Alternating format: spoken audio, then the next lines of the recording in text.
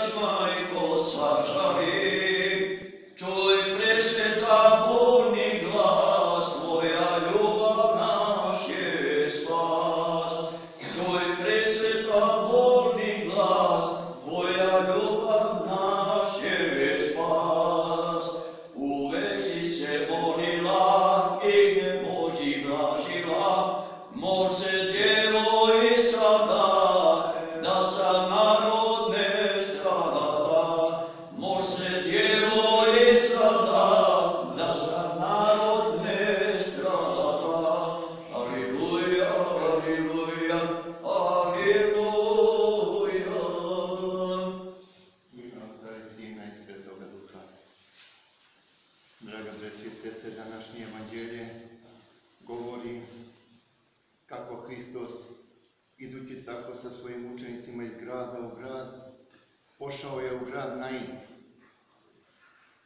I kada je prišao blizu grada Naina, to jeste na same, kraj sami Bedema, jer svaki grad u to vrijeme bio je opasan zidovima,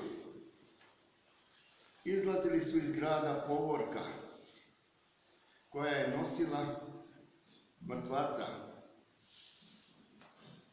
S jedne strane išla je povorka života, to jeste za životodavcem Hristom, a druga povorka bila je povorka smrti. Nosili su mrtvaca i da bude veća tuga, taj mrtvac nije običan mrtvac, to je mladić, jedan mladić i to je jedinat u majke njegove majke koja je bila udovica. Zaista ne može biti veća tragedija kada žena koja ima jedinu utehu svoju majka, ima sina svoga, jedinca, nema muža, nema više nikoga i on umre i to u najboljim godinama. Ovo je bio deč- dečak od nekih 12 godina, najviše do 12 godina. I kaže, majka je strašno kukala, neutešno. I sav grad je išao za njom da isprati i da je teši, da isprati njenog sina, da je, kao, da je dao utehu i došli su da se učestvuju u njenome bolu i žalosti. I Hristos videvši tu tragediju po velikoj svojoj dobroti, on priđe onim ljudima koji su nosili mladića i kaže stanite. I oni stadoše, a on uhvati za nosila i reče mladiću, tebi govorim ustani. I gle čuda, mrtvac ustade, sede nad, nad nosilima i poče, kaže, govoriti. A on ga uze i dade ga majki njegovoj, iz čega vidimo da se nije radilo o odraslome čovjeku, nego o mladiću, to jeste o mladom, nekom dečaku. I narod se sav zaprepastio i začudio i reče u sav glas, veliki prorok je među nama i Bog posjetio, posjećuje narod svoj. Jer ovo se nije do sada vidjelo, da neko ima takvu moć, da mrtvima, da mrtvome kaže ustani i da on sluša glas njegov i da proživi i da ustane. Ovo je samo jedna od slika koja spotiče nas od dela Hristovi kako će biti sa našim vaskrsenjem. Da život nije ovaj na zemlji samo ovo što jeste, život je, čovjek je besmrtan, samo prelazi iz ovoga svijeta, fizičkog, onaj duhovni svijet kad umre. A vaskrsenje po drugom dolasku Hristovom bit će i našega tela. Mnogi se pitaju, a kako je to moguće, čovjek umro pre hiljadu godina, da vaskrsne u telu, sve se raspalo. Nigde traga od njegovog tela, ostalo je samo par koski i lobanja. A zaista čudno pitanje. Pa zar onaj koji je prvoga čovjeka stvorio zemlje ne može narediti zemlji da i ona sa- sastavi čovjeka onakav kakav je bio. Jer to je svemogući Bog. I On je sve što želi, On može da učini. Jer je svemogući nesvatljivi Bog za nas ljude, koji je nas stvorio, a mi smo delo ruku njegovi. Kada vidimo kako Gospod pokazuje veliku milost u tugama i u žalosti i uvek u nevolji svake vrste, onda mi se zato i molimo uvek i kad smo u žalosti i kada smo u bolesti. Molimo se da Bog pošalje svoju uteku, da prekine tugu našu, da uskrati žalost našu, da On uteši, da On ozdravi, da On vaskrsne. A ko će drugi? Onaj koji je gospodar neba i zemlje i svega što živi na zemlji, na nebu, na moru i u moru i svugde i pod zemljom. Sve je On gospodar svega i On njemu vlada. On svim time vlada. Kad čujemo današnje evanđelje, kako gospod prilazi krotko i smireno i kaže pre toga majci njegovoj, ne plači. Zamislite kako bi se osjećala svaka majka današnja, da je neko kaže da ne plače, a izgubila jedinoga sina i to neko koga, koji je prolaznik tuda. Ali ona zna, ona osjeća svojom dušom da to nije običan čovjek, da pred njom stoji neš, neko veći i moćniji i sluša ga i čuti. E zato što je učutala. Zato je dobila sina svoga nazad u život da ponovo on bude sa svojom majkom.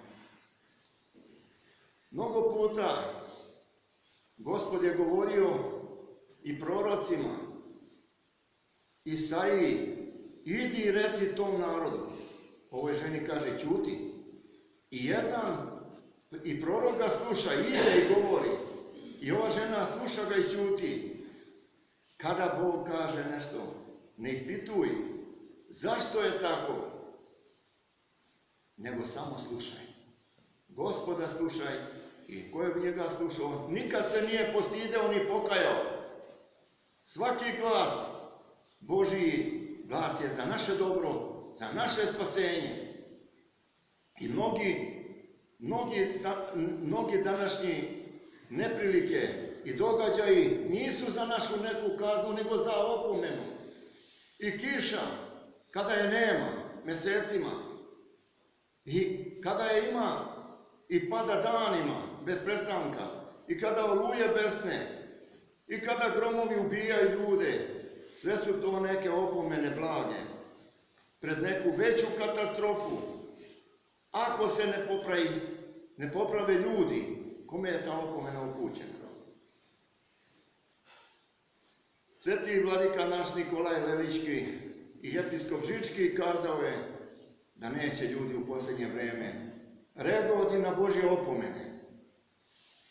Danas mi vidimo velike nevolje u našem narodu, u našoj zemlji, strašne bolesti.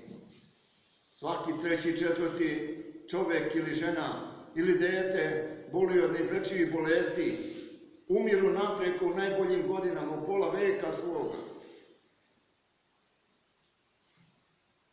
Poplave i suša i mnoge druge opomene od Boga.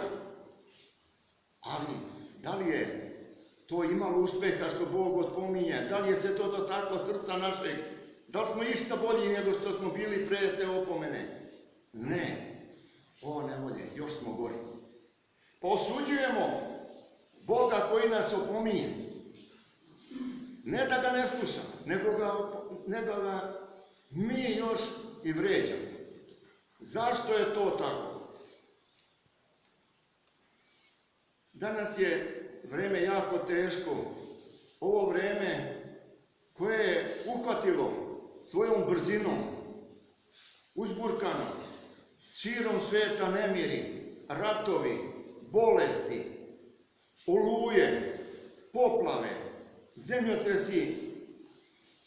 A šta to ništa ne govori jednom čoveku koji kao jedna stabljika se tu nalazi između svih nevolja i opomena Božih, da se popravi, da moli gospodara svega toga, da on to ustavi, da se smiluje, da oprosti i da popravi sve ono što se čovekovim grehom pokvarilo. I klima i priroda. I sve se pokvarilo zbog čoveka koji neprestano greši i neprestano psuje Oca svog nebeskog. Pa kada mi danas vidimo kako je teško biti pravoslavni čovjek koji prima s ljubavlju sve što mu se pošalje od Oca Nebeskoga, mi treba da znamo i nešto drugo. Da je Hristos rekao za ta vremena kada će biti malo vernika na zemlji, ne boj se malo stado, jer je volja Oca vašeg nebeskog da vama da carstvo, ne velikim masama i ruljama, milionima i milijardama, nego onima koji su njegovi, iako je malo, njima će dati carstvo. I na njih će pogledati. Nikada ne idi za masom, nego za Bogom. Ako svi idu kud ne treba, ti ne idi. Ti treba da znaš tvoj put. Bog iđenja za čovjek, put iđenja za Bogom. Čovjek treba da ide za Bogom i za njegovim zakonom, njegovim zapovestima da se upravlja, a ne bezumljima ovoga sveta. Uvijek, u najvećim nevoljama i u, i u radosti svojoj, sjeti se Oca svog nebeskog koji neprestano gleda i bdi na tobom.